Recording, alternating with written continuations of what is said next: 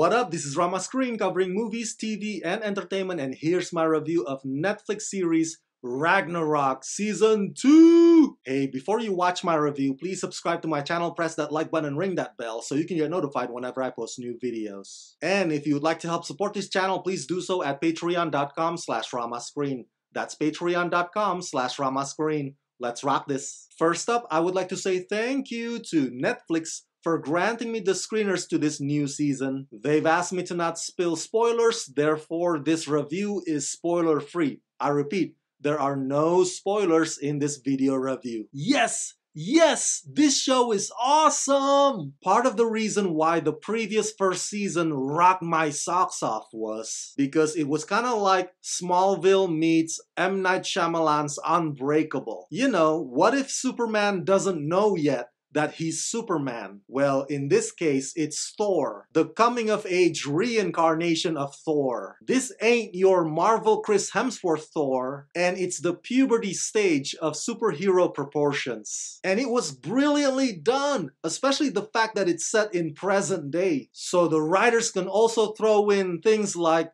climate change, industrial pollution, corporate greed, you know, stuff that would get millennials and Gen Zs riled up. So while season one was about Magne slowly but surely discovering that he's actually extraordinary and now that he knows, so now season two is less about what are my abilities and more about what can I do with these abilities. The story moves forward at a significantly faster rate this time around and it's also more action packed because the Giants and Magne have practically drawn a line in the sand things escalate in season 2 and there's plenty of more surprises in terms of which other Nordic mythological characters that the writers decide to bring in. It's darker and more consequential, but still as cool and thrilling as ever. Season 2 is electrifying, literally and figuratively.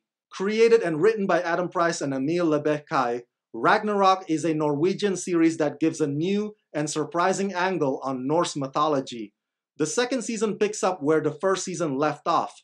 What do you do when you're a 17 year old high schooler who has just learned that you're up against an ancient and extremely powerful enemy that is holding an entire town, perhaps even an entire country, in an iron grip? Magni has to accept that he's now ready for battle, but his enemies are many and strong. Is there anyone else who, like him, has supernatural powers? And will he be able to find these people in time? And what happens when it turns out that his little brother Laurits is also exceptional, but he views the world differently from Magne? In season 2, the conflict gets tougher, evil gets more focused, and the choices even more desperate.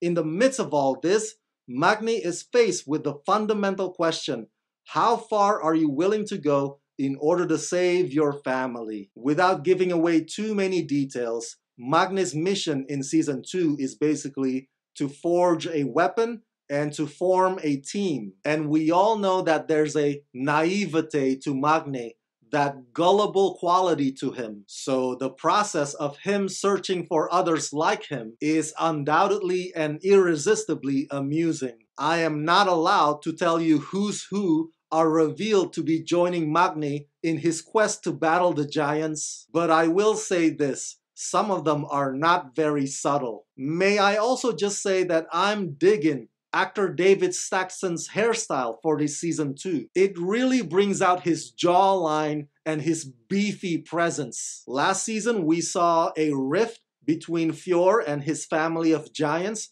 because Fjor really, really loves Gry. Well, in season 2, this teen romance, for the most part, grows steady. It's obvious that being a good guy is really, really hard on Fjor. I also appreciate the fact that this season 2 puts more emphasis on Laurits. He's always been one of my favorite characters on this show, and I felt that season 1 did not give him his dues. And I think actor Jonas Strand Gravli is fantastic in this role, and I'm glad he finally gets to shine in this new season and finally realize the potential that destiny has for the cunning, flamboyant, and mischievous Laurits. Season 2 is Laurits coming into his own. There are so many other things that I wish I could tell you, but I have to keep this review spoiler free. One thing for sure is that now the cards are on the table. No more pretending.